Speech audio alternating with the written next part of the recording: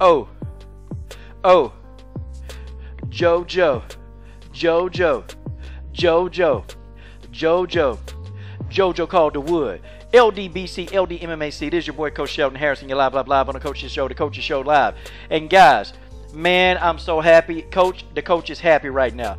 I'm gonna tell you why I'm so happy, guys. My girl JoJo Calderwood, man, she been having a rough go. JoJo Calderwood been having a rough go. She been taking some butt whooping. She been getting slapped around. JoJo Calderwood did, okay, what people thought she couldn't do, and that's go to the ground. I, I, I gotta tell y'all, man. JoJo Calderwood first round triangle choke submission over Kalindra Faria. You know what? When JoJo went to the ground and Kalindra had a really good dominant position, I said, "Uh oh, uh oh, this uh, this don't look good for JoJo Calderwood. This does not look good." But JoJo made a liar out of me. Oh, JoJo turned uh, JoJo turned lemons into lemonade.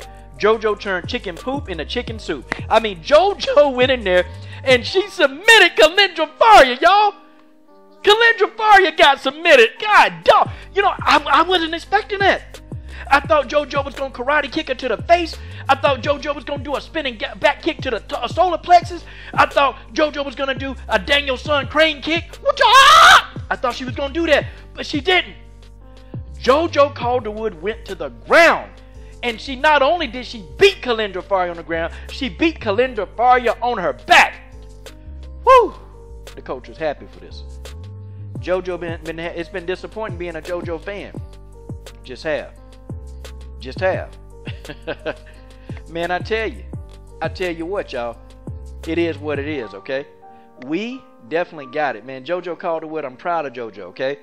I'm proud because now, you know, JoJo can actually have some joy and peace in her life. This girl been miserable for months at a time, y'all. This girl, you know, had to do what she needed to do. She got, she updated her team. JoJo Calderwood went in and she was ferocious, and JoJo did not give up. She kept her composure, and she got the submission. And Kalindra Faria, you know, just fell into it, man. Like JoJo got part of her arm, and then JoJo just slipped her head in there, and next thing you know, triangle choke submission by JoJo Joanne Calderwood. God dog. Shout out to my girl, man. Shout out to my girl JoJo Calderwood.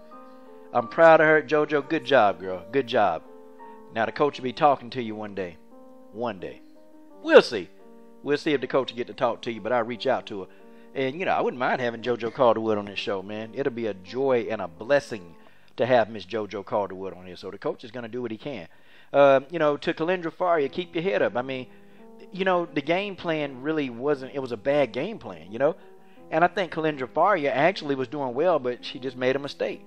And unfortunately, when you make a crucial mistake in a high stakes matchup like this, unfortunately, you either get knocked out or you get submitted. And that, that's just the way that is. This is your boy Coach Sheldon Harris. And I'm done. What are you waiting on? Subscribe to the best women's MMA platform on YouTube.